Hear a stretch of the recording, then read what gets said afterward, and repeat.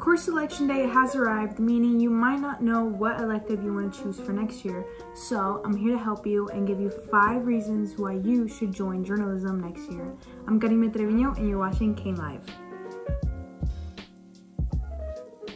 First things, there are multiple classes in the whole journalism program, which include journalism, broadcasting, which includes podcast, photojournalism, and newspaper. If you're interested in camera work or publishing videos to our YouTube channel, Cain Live, then you should probably join broadcasting. And like I said earlier, we do have a podcast program in the broadcasting class. So if you would prefer to put out podcast episodes instead of videos, this is the right class for you. Reason two, college. Writing that you've taken a journalism class before on your college resume can definitely raise the chances of you getting in that college, especially if you're gonna study anything that revolves um, journalism or communication, marketing, anything like that. Reason three, stories. If you want to be able to practice writing and publishing your own news stories, journalism is definitely a great way for you to reach your goals. Reason four, photography and newspaper. If you're interested in your photos being published on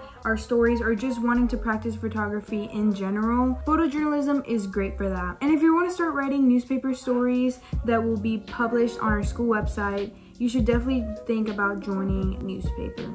Reason five, creativity. If you want to be able to express yourself through your work and show off your creativity, journalism will definitely benefit you. Most of the time, we do get to choose what topics we write and film about. So if you think you have great video or story ideas, we hope to see you soon. The deadline to change your course selections for next year is May 7th. So if you're watching this anytime before that, you still have a chance to join us.